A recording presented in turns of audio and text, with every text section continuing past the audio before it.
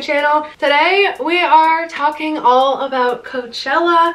I am not going this year, but I did go for my first time last year. I just wanted to bring you coverage from like a more realistic normal person standpoint of Coachella. There's so much fucking Coachella content out there and it's all about influencer life or trying to be an influencer life. And I went into Coachella as a very normal person wanting a very normal festival experience. And I went to Coachella as like a major half send because Bassnectar was going, not as like my biggest event of the year. This was like, uh, we're gonna pull this out of our ass type situation. I went with two friends who flew in. We decided to camp to make it as cheap as possible, especially because most of the places to stay were probably already taken and we just knew it had to be like bare minimum. So I could provide all the camping stuff, but I just want to be here to let you know that it is possible if you are a last minute planner, even if you're not, I'm here to provide you with all the tips and advice from someone that actually goes to festivals, that knows about festivals. You are an actual festival goer and this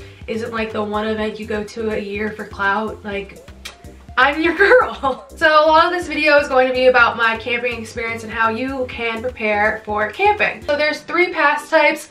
There is tent camping, car camping, and preferred car camping. With Coachella, camping does not come with your pass. You do need to purchase a separate add-on. Tent camping is $102. Car camping is also $102, so it's actually the same exact price, and preferred car camping is $206. From my perspective, the camping grounds weren't that big. You can arrive on Thursday night, but my friends and I couldn't arrive till Friday morning, so we were some of the last people there. So we are in one of the farthest spots, and our walk was still like a million times closer than a walk from an electric forest type situation of camping. So I was really impressed don't really have to worry about too much walking. It was like 15 minutes for us to walk into the venue once we left our camping site. I heard that when you arrived on Thursday that security was a little bit hard. They definitely went through your stuff in the car and the line was really long to get in. But when we arrived on Friday, probably around noon, I would guess, we literally didn't wait for a single second. There's no one in front of us. My car was absolutely jam packed.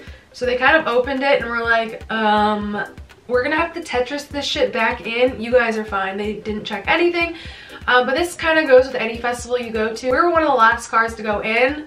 So at that point, security realistically is like over it. They're just normal people working uh, probably not that great paying job. At this point, they're definitely over it. So things like that are always variables that are kind of hard to control. You can't really do anything about, but it's definitely possible to get lucky because they didn't look at anything in our car and there was no line. Another great thing about the camping area was it's super easy to navigate because they had little street signs that were all numbered. They had like at 808 Street, 807, 808, I mean, wait, what? 807, 806, blah, blah, blah they had everything was numbered so it was really easy to find your way back to your campsite because that is like honestly the biggest struggle when you're fucked up trying to get back to your campsite like there's times even when I'm not fucked up and it will be like the last day of the festival and I'm still like how do I get back what are the landmarks I like go left at the third porta potty and then like what? The numbered rows are definitely a nice touch. Security to get into the festival was also really pretty much easy. If you're Ubering to the festival or whatever, you kind of get dropped off at the same area that we drove into to get into the camping grounds. Walk through, you kind of go through like a few levels of security where like, I think they like check your wristbands on the first one, or like they ask you to throw out your drinks at the first one. It's kind of like an easy, like people just standing there. I don't remember what order it's in, but I think you do your wristband check and then after that they do a bag check and then a body check, something like that.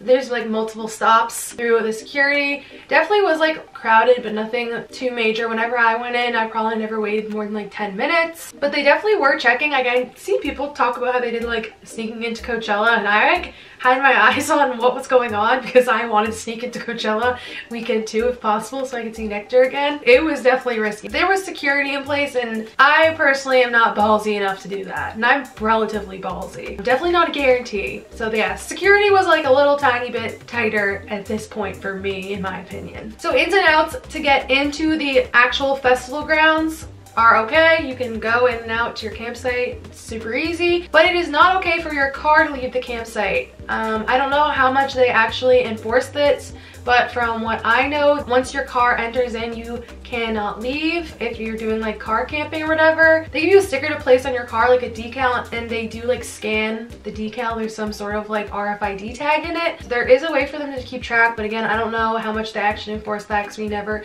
tried to leave. We did leave for pool parties, which were definitely a little bit far. There was three to five of us splitting the Ubers when we used Ubers, so the Ubers were never too crazy. I would guess I probably paid like 10 to $15 each way. They're probably like 30 minutes away from the festival. A lot of you may know that pool parties are a big part of Coachella, especially for the people that are not actually there for the festival and are just there for like the clout or whatever. But I just went to a normal person one. I went to a Dom Dolla pool party at this cool hotel. I can't remember what it's called, but it's like this famous rainbow hotel in the Palm Springs area. If you want to go to these pool parties, that's definitely possible. Also, it was nice because it was like kind of a way to do like a fake shower. So the Uber situation for pool parties was super easy, but I actually never left to do any after parties because that is part of Coachella as well. But like I said, I never tried to go to any after parties, but one of my friends did. It's complicated, but pretty much she went with two people that were staying at a hotel and she was coming back to the festival at the end of the night by herself where the other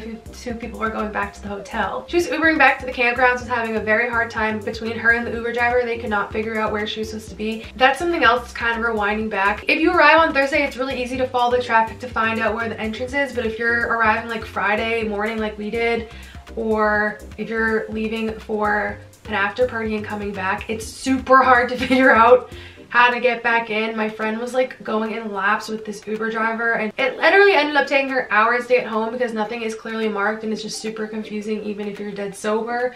We were driving in circles trying to get in on the first day. It probably took us like 20 to 30 minutes to find out where to go because a lot of the signs were taken away by then. So keep that in mind. If you're not coming in on Thursday morning, you might have a hard time finding out where to go to get back into the festival. It's a little bit more about the camping environment. It was definitely a more quiet environment, at least where I was. Again, we arrived late, so we were kind of like on the outskirts of the camping area. There was no like crazy after parties where I was. It was generally quiet, but I did still have fun. They had some cool stuff set up that I wasn't really expecting from Coachella. It wasn't near where we were camping, but when you leave the grounds there's like one main road and we walked all the way down the like main walking road in the camping area which led us to an area with like food vendors tented area that had like little fun games to play like I think there was like beanbag games and things like that yard games to play and there was also like seated areas to chill in there was like a little area to dance to and then there was also a couple areas to dance outside under the tents where there was like a silent disco where you can like put on two different channels and dance to whatever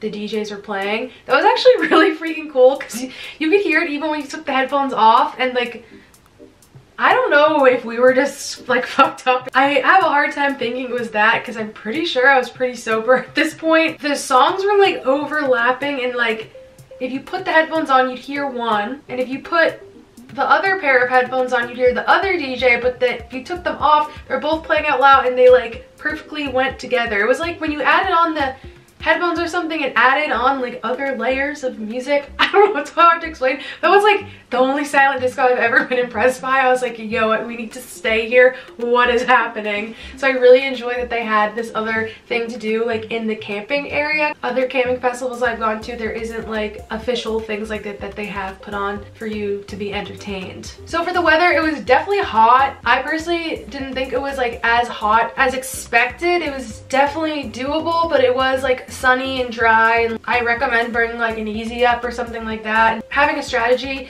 to keep like your cooler and stuff dry, whether that just be like moving it around your car to keep it always in the shade and things like that or whatever. The heat is definitely an obstacle, but it's not something that will like torture you in my opinion. It definitely gets cooler at night too because you are in the desert so especially people that are coming from farther away if you are coming from like the east coast my number one complaint by my friends when they come to LA in general never mind Coachella is it's always colder than they think it will be like at night or in the winter or like in the spring. They expect to not be cold the whole time but you definitely still will get cold. It's funny when my friends come to visit in the winter It's my friends that are coming from the actual winter weather into the LA version of winter that are the ones that are most bothered by the cold. Like they're the ones that are always like, can we go inside? Can we get an extra blanket? So definitely be prepared that it will be cold at night. I don't think I was prepared enough even as someone that knew it would be cold. Because it is so dry in this desert climate, you need to bring tons of sunscreen because it will exhaust you if you get burnt, just like if you go to the beach. Also bring like a dust mask, like a bandana or a cute dust mask from one of those cute rave companies. Just bring something because your boogers are gonna be black if you don't do it and you're just gonna be coughing. Honestly, it's kind of suffocating. If you get to the point where you've breathed in so much dirt, it's like literally hard to breathe. I didn't have that big of a problem with it at Coachella as I have at places like Hard Summer it's like legit legitimately suffocating me, but definitely keep that in mind. The bathrooms in the camping area are all porta potties, but I always thought they were pretty clean. There was never big lines at them either. And then there was also showers, but the showers always had really long lines at the peak time. So if you're waking up at like 10 11 a.m and are looking to roll through and get a shower after you wake up when it starts to get really hot. Just want to walk over to take a shower. Newsflash it ain't gonna happen. You're gonna be waiting in line for like over an hour. The lines were really long like wrapping around in circles. So either wake up really earlier or be okay with taking your shower and starting your day a little bit later than you wanted to and a little bit later than what everyone else is doing. I can't remember how much it cost, but I'm pretty sure they cost money. I'm assuming they probably cost between five to ten dollars that's generally what the gist is. If you've never camped at a festival before, I have other videos on how to prepare for camping at a festival in general because pretty much everything else I could tell you is just like generalized information, not specifically to Coachella. If you don't know where to start with getting ready to camp at a festival, definitely check out my video that I'll either have linked down below or at the end of this video. I had a great experience camping at Coachella. I would definitely camp at Coachella again. I was really worried about going into Coachella and it just being like this phony experience where I didn't actually feel like I was at a festival because at the end of the day, this is like the one festival that people that don't go to festivals always go to. So I really thought it would just be sad to me to go to a festival like that but I feel like camping gave me the experience that I was at a festival just like any other one and there was other people that were interested in festivals the same way that I am and are just there to enjoy the music and have fun camping and stuff like that. So definitely go into the festival with an open mind because you have an opportunity to have um, pretty much just as much fun as you would at any other festival if that's what you're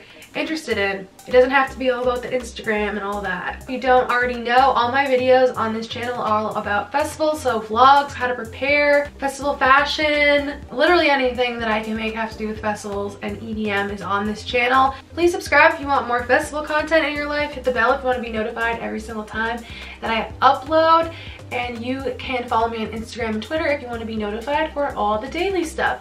Thank you so much for watching. I have so much fun at Coachella. I am a little bit jealous because it is so close to me. It's kind of an easy send for me, but I will not be going this year. Maybe next year, who knows? Thank you so much for watching and I will see you in my next video. Bye!